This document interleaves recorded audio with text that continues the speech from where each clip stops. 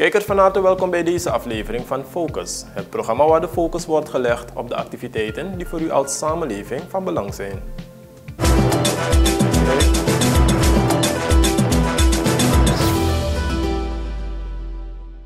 Vandaag in Focus. Vertegenwoordiger UNICEF biedt geloofsbrieven aan, commissie Homeless People geïnstalleerd en meetingplatform Joden Breestraat.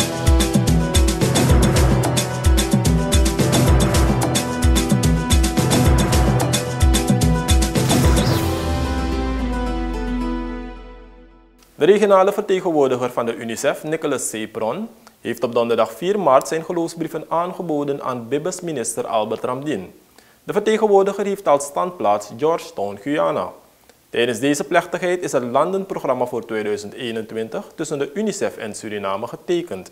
Minister Ramdin geeft meer bijzonderheden hierover.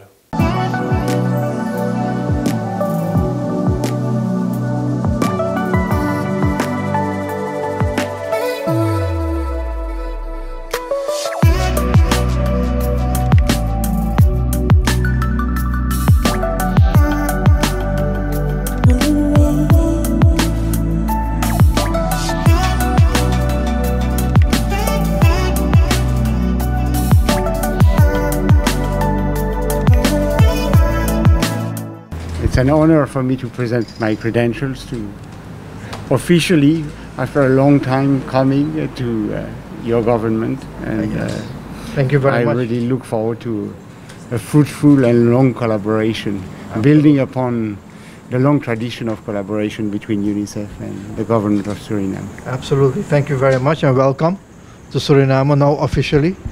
You have been here before, but thank you very much and congratulations. We will certainly build on the relationship which has already been uh, developed over the many, many years. And I welcome you to officially to Suriname now. Thank you very much. Thank, Thank you, you. so much.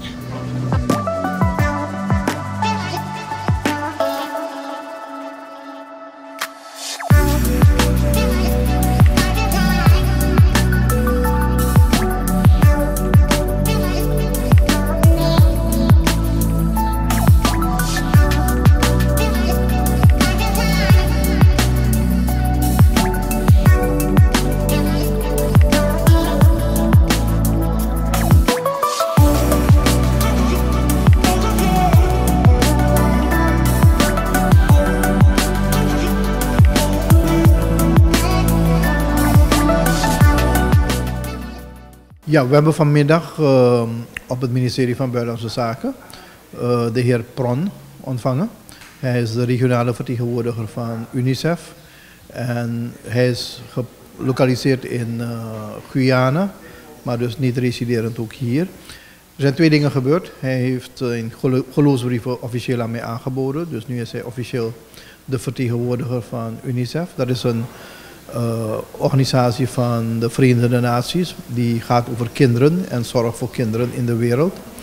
Daarnaast hebben we het eh, landenprogramma ondertekend voor 2021. Waarbij dus een viertal projecten eh, zijn goedgekeurd. En waarmee een totaalbedrag van ongeveer 950.000 US is betrokken.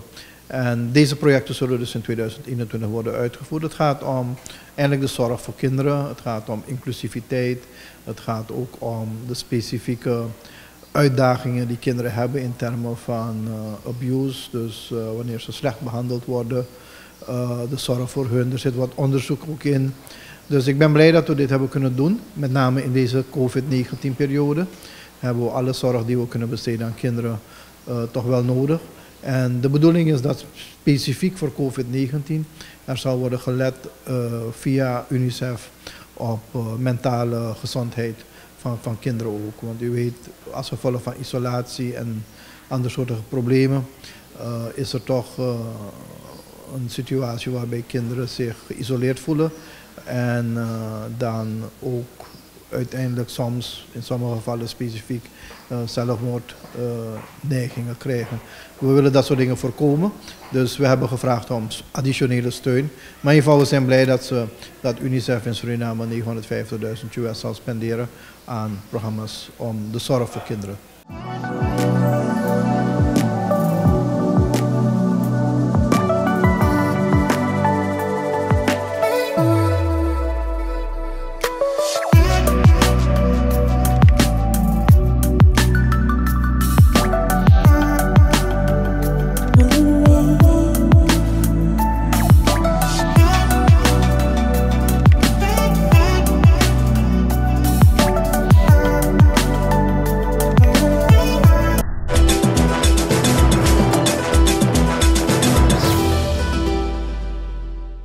Commissie Homeless People moet oplossingsmodellen bedenken om het vraagstuk van de dak- en thuislozen structureel en duurzaam aan te pakken. Deze commissie is op donderdag 4 maart geproclameerd. Het doel van de commissie is te komen tot een plan hoe de mensen die thans nog op straat verblijven, in de samenleving bekend als dak- en thuislozen, opgevangen en begeleid kunnen worden.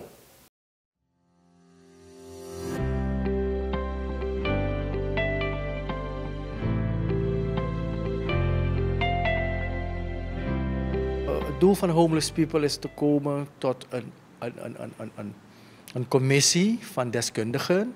En deze mensen zullen nadenken, een plan produceren hoe wij dus de mensen die thans nog op straat wonen, verblijven, zich ophouden. De mensen die wij in Suriname kennen als de groep uh, thuis- en daklozen. De volksmond ook wel bekend als uh, zwervers. Persoonlijk vind ik die naam natuurlijk niet correct. Het doet me zeer als we mensen hè, die op ons lijken, weliswaar, categoriseren als zwervers. Ik vind het een negatieve benadering. Ik heb er heel veel moeite mee. Vandaar dat ik een beetje gekozen heb voor een chique naam, uh, Homeless People. Wat zal, hoe zal het werkproces allemaal eruit zien om deze mensen dan te benaderen of toch te overtuigen om dus dan een andere pad op te gaan, om ze een tweede kans te geven?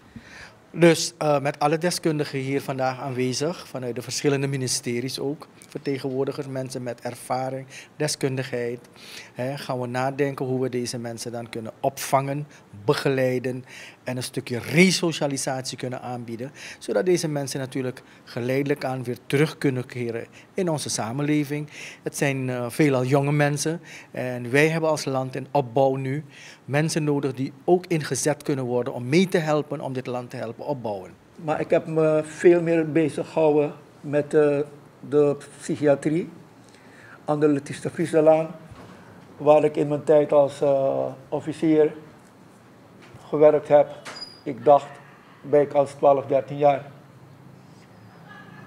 Als het over dit, uh, deze problematiek gaat, wat er moet gebeuren, is de problematiek wat we hier hebben, onze binnenstad.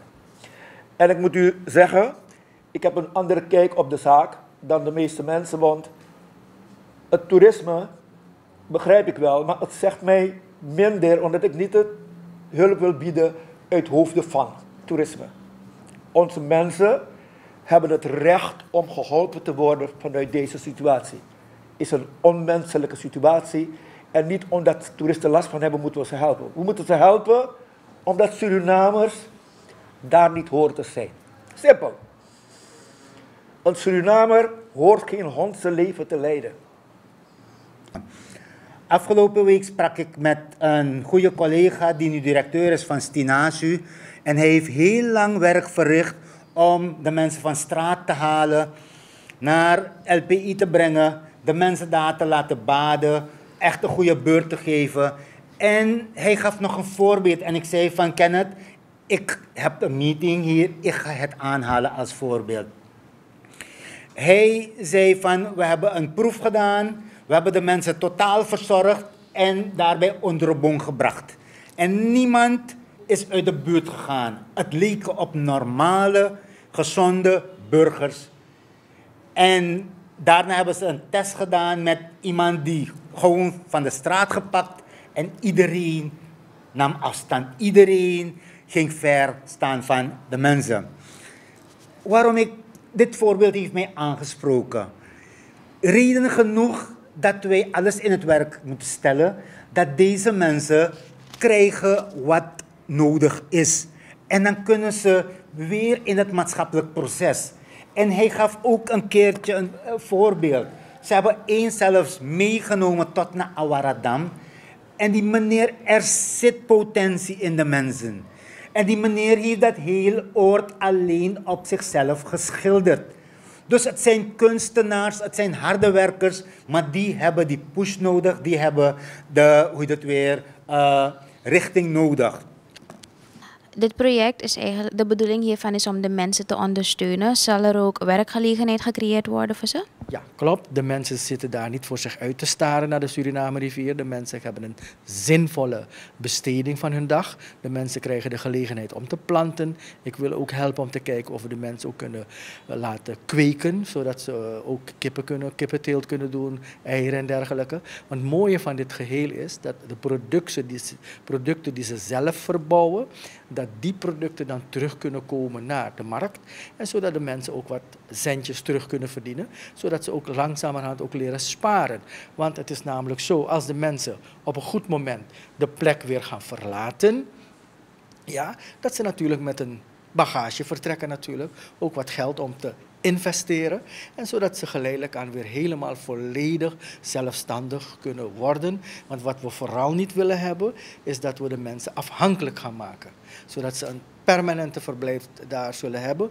Want het is niet de bedoeling dat wij de mensen gaan deporteren. Laat ik dat gelijk hier erbij zeggen. Dit initiatief ondersteunen we vanuit de VSH, kan ik dat meegeven. En we kijken uit op wat voor manier we verder invulling kunnen geven. We hebben al gezegd, organisatorisch eh, is zeker iets dat we eh, mee kunnen helpen. Eh, management van zo'n project, om daadwerkelijk ook een uitstraling te geven van niet alleen de overheid, maar ook de private sector. En dan kan je dus dan naar mogelijke financieringsideeën als het nou lokaal is of internationaal, kunnen we dan misschien een sterkere eh, beeld eh, eh, uitstralen dat dit project efficiënter en op de woorden van daadwerkelijk iets doen voor een keer zien te realiseren. Niets is gegarandeerd in ons leven, maar een, proberen moeten we altijd en de VSH staat erachter.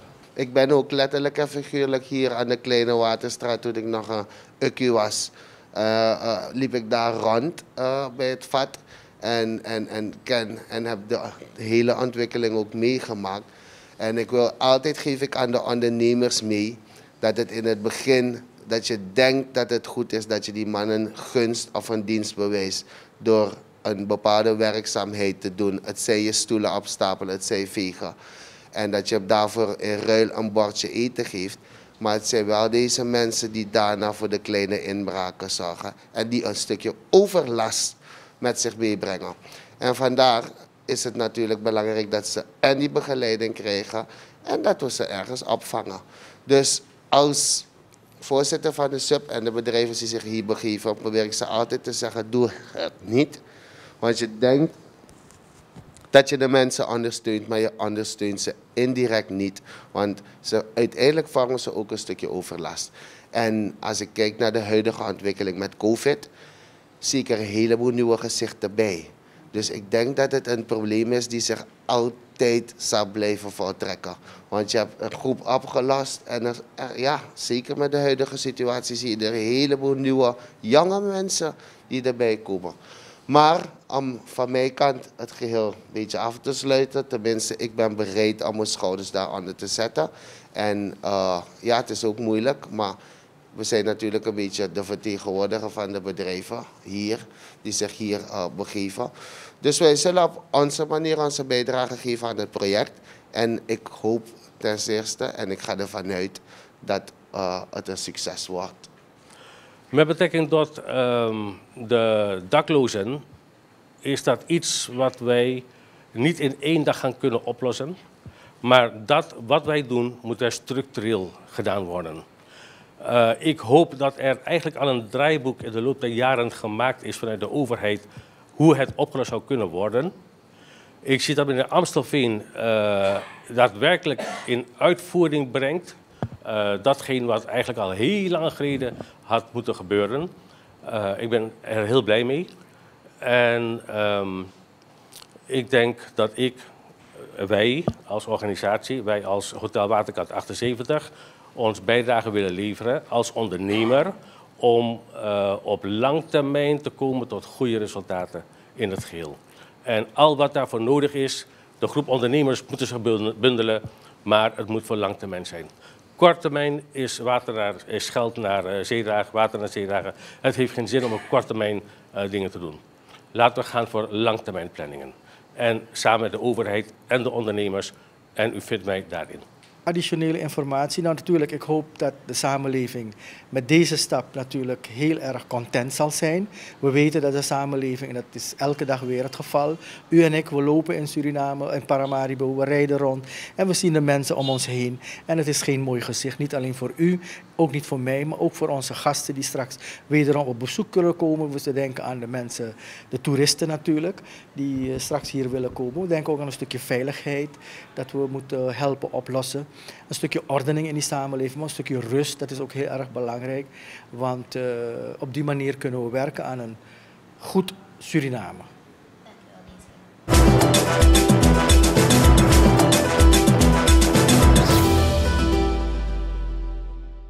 Het platform Jodenbreestraat heeft op vrijdag 5 maart een meeting gehad met onder meer het districtscommissariaat Paramaribo Noordoost ten aanzien van het ordenen van de verkoopactiviteiten van venters in de voornoemde omgeving. Het betrof een vruchtbare meeting. Er zijn afspraken gemaakt waaraan deze groep moet voldoen, zodat ze ongestoord wat kunnen verdienen. De communicatiedienst Suriname was aanwezig tijdens deze bijeenkomst.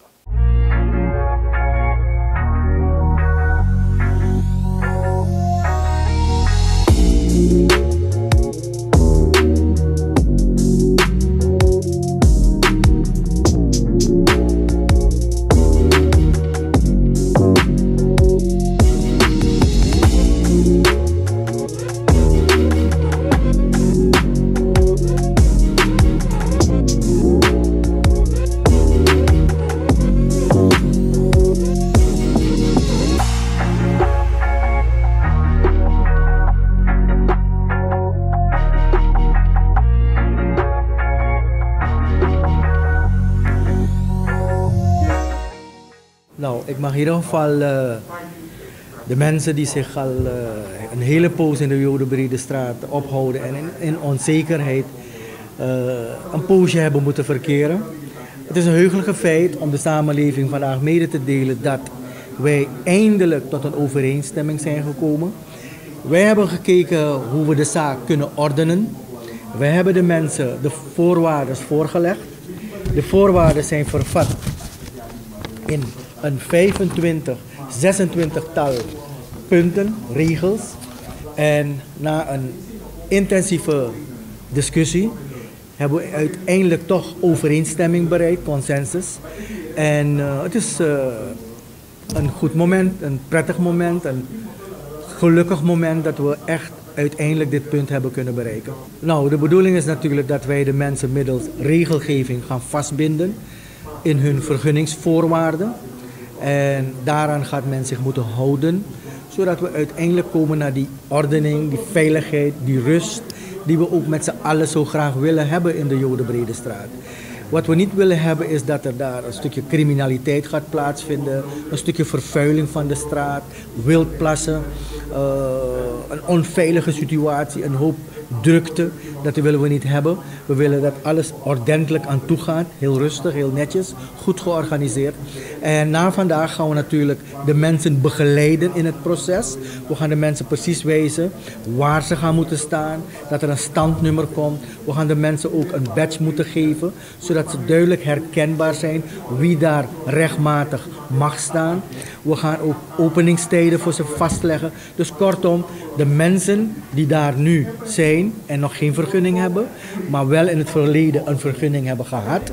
We gaan ze met nieuwe regelgeving zodanig organiseren dat het ook prettig is voor de mensen zelf, maar ook voor de mensen die daar in de straten komen om spullen te kopen, zowel in de handelszaken als bij de mensen op straat.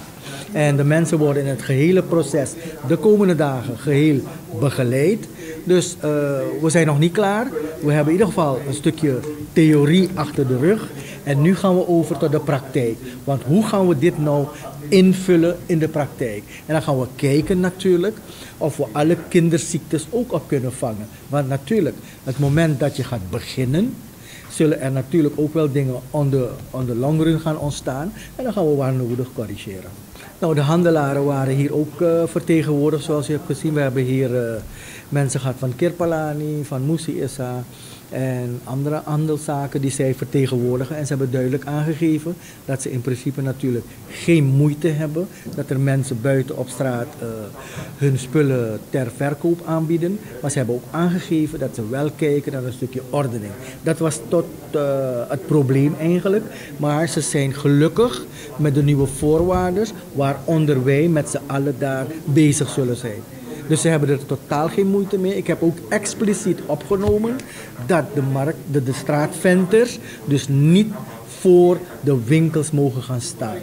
Dus dat, dat staat duidelijk vervat in de voorwaarden en alle partijen konden zich daarin terugvinden.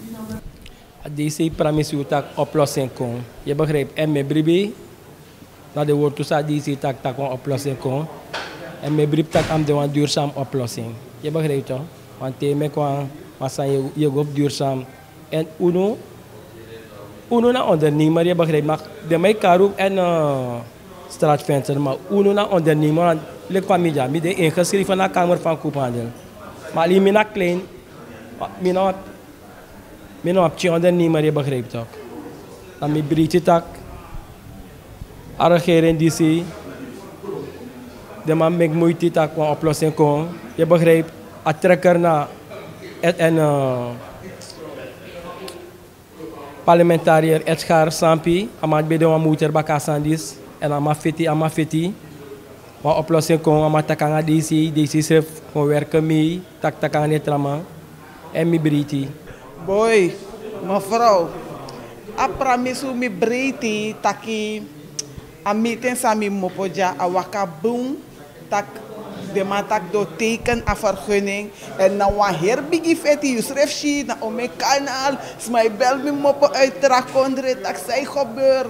Mevrouw met tegi aan wa so strema na bigi man na luchtu snap nou se tak e ala fasi abi fie de man fu Edgar Sampi a assemblee snap nou baka. Na ome man snap nou baka zodat de tak na DC Adisi schreef werken mee, want if aan het werken mee dat de boerderij moet op de pastrati. Maar adisi, luku tide, tide alasan, wakabung, de teken, de vergunning, de verlenging, maar de stel walo eisen, maar no tranga tranga eisen. De man stel maar, mi breekt het a teken. Want mi nou een echte hosselaar. Die tak hosselaar, dat nou een meidelijk mi echt hosselaar. Mm.